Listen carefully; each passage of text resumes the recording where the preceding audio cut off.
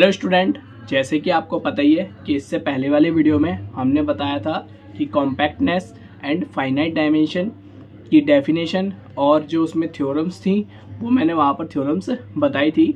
ये थ्योरम ये इम्पोर्टेंट है और एग्ज़ाम में आती रहती है। ऐसी दो थ्योरम है।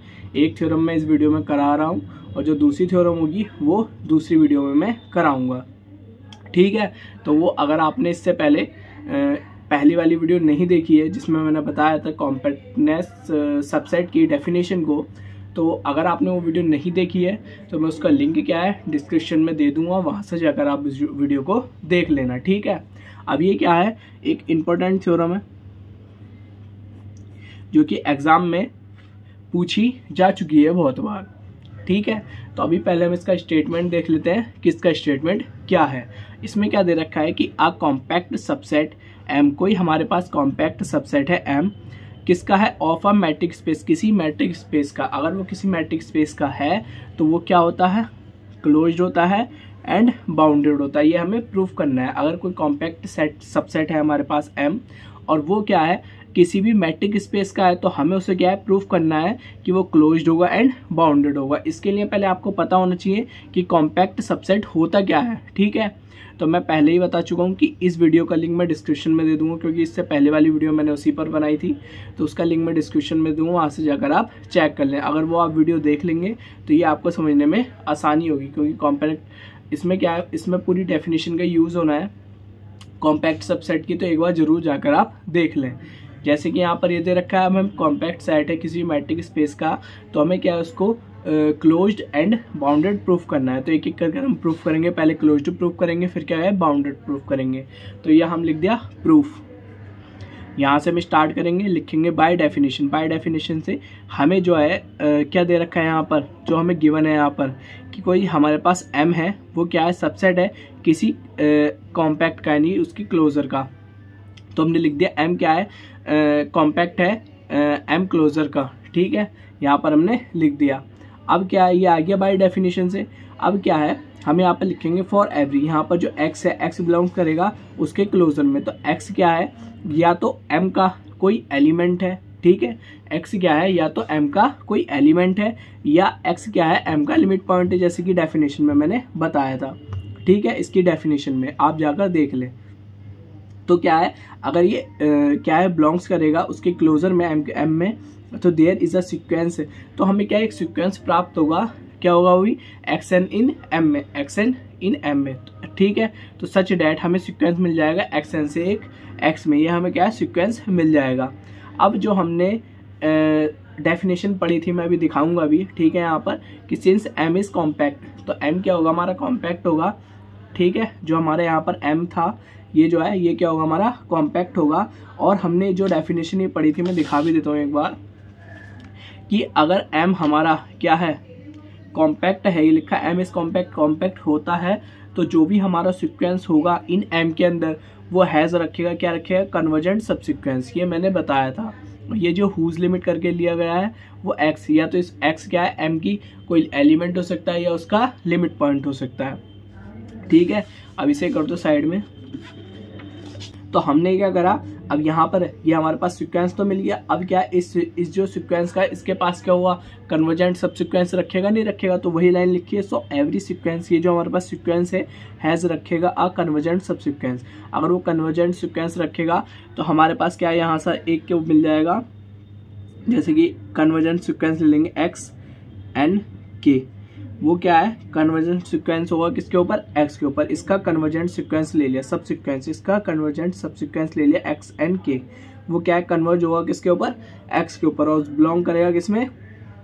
एम में। अगर ये एम में बिलोंग करेगा, यानी कि जो एक्स है, वो एम का लिमिट पॉइंट है। है लिमिट पॉइंट आ गई बात ये हमने प्रूफ कर दिया जो हम ऊपर मान के चले कि ऐसा हो सकता है। यहाँ पर वो लिमिट पॉइंट आ गया। अब हम ये बोल सकते हैं कि एम जो हमारे पास क्लोजर था, वो भी सबसेट होगा एम का। ठीक है? इक्वेशन वन इसे बना लें और इसे टू बना लें। तो दोनों क्या है? दोनों से, दोनों इक्वेशन से हम ये लिख सकते हैं कि एम क्लोजर बराबर होगा एम के। लिख सकते हैं? यही बात लिख दी और यही हमारा प्रूफ हो गया। पहला कि एम क्या है? हमारा क्लोज्ड है, ठीक है? पहला तो हमारा यहाँ पर प्रूफ हो गया, कुछ नहीं करा हमने सिंपल अपनाया है सिंपल हमने क्या इसको करा है, ठीक है? अब क्या हमें दूसरा प्रूफ करना है? पहला तो हमने कर दिया क्लोज है, दूसरा हमें करना है कि वो बाउंडेड है, ये प्रूफ करना है। तो बाउंडेड प्रूफ करने के लिए हम क्या करेंगे? उसको पहले क्या है, हम कॉन्ट्रोडिक्शन से भी कर कॉन्ट्रोडिक्शन ही होगा इसमें तो कॉन्ट्रोडिक्शन भी लास्ट में लिख सकते हैं। तो हम क्या करेंगे यहाँ पर? वी प्रूफ हमें प्रूफ करना है कि डेट एम इज़ बाउंडेड कि एम हमारा क्या है? वहाँ पर बाउंडेड है ठीक है? तो यहाँ पर हम मान के चलेंगे सपोज़ कि एम इज़ नॉट बाउंडेड ये हम मान के चलेंगे और ये हमें क्या है? प्रूफ करना है। ये हमने यहाँ पर क्या है? मान करके चलेंगे। जब मान करके चलेंगे अगर ये आ, कोई भी क्या है अन, वो क्या होता है? बाउंडेड होता है। नॉट अनबाउंडेड होता है।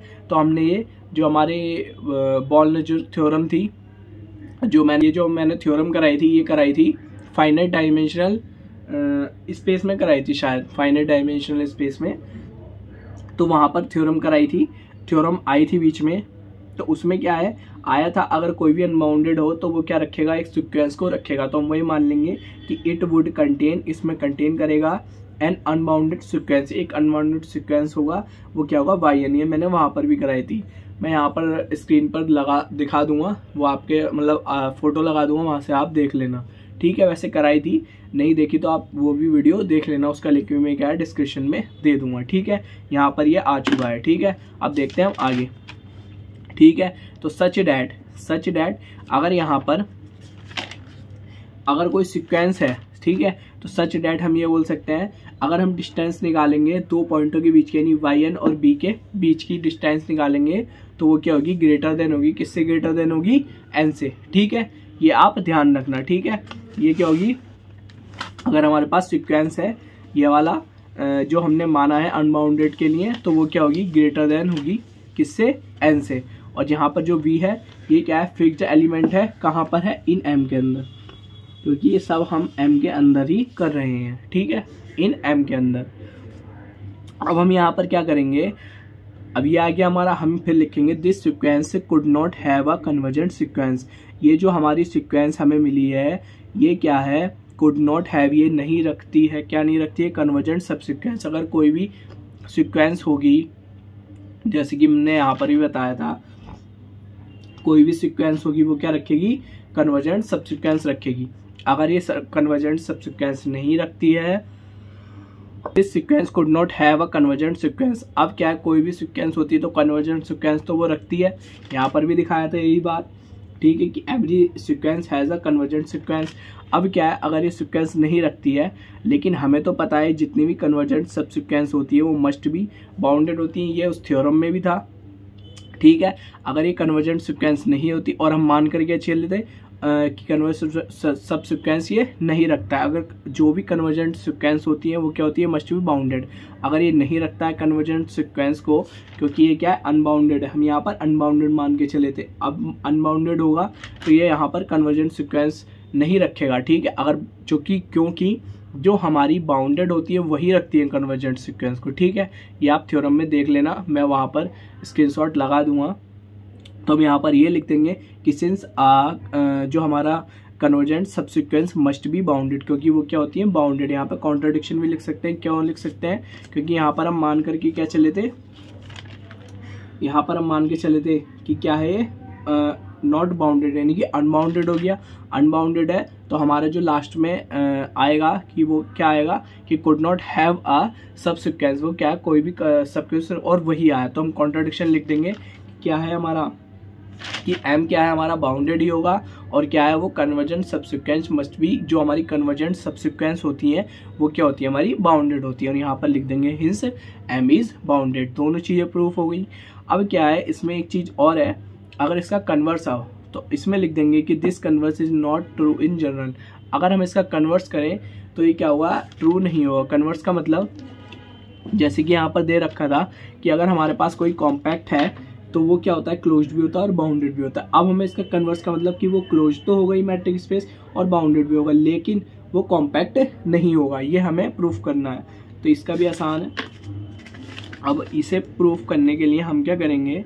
जैसे कि यहाँ पर हमने लाइन तो लिख दी। अब क्या करना है? To proof this important fact हम इस जो इम्पोर्टेंट जो फैक्ट है, यानी कि जो बाउंडेड और क्लोज होती है, लेकिन कॉम्पैक्ट नहीं होती तो वी कंसिडर द सिक्वेंस हम एक कंसिडर कर लेंगे sequence E N in L square के अंदर, ठीक है? एक सिक्वेंस ले लेंगे वेयर ई एन बराबर होता है Kronecker delta N J Kronecker delta N J और हमें जो इसमें सिक्वेंस मिलता है, वो सिक्वेंस हमें मिलता है ज़ीरो ज़ीरो ज़ीरो ऐसी लास्ट में हमें सम, ये सारे ज़ीरो हो जाएँगे लास्ट में मिलेगा हमें वन ठीक है? और ऐसे आगे चलते रहेंगे, लेकिन लास्ट में जो हमें मिलेगा मिलेगा, वो मिलेगा वन इसलिए हमने लिख भी दिया है, अगर ये सिक्वेंस है तो has the nth term in one जो उसकी एंथ टर्म होगी, वो क्या होगी? वन होगी and all others terms zero और सारे टर्म्स क्या होंगे? ज़ीरो होंगे। अगर ये हमारे पास सिक्वेंस होगी तो दिस सिक्वेंस इज़ बाउंडेड ये सिक्वेंस क्या होगी? क्योंकि हमें जो इसका एंथ टर्म है, वो तो मिल गया कि वन है लास्ट टर्म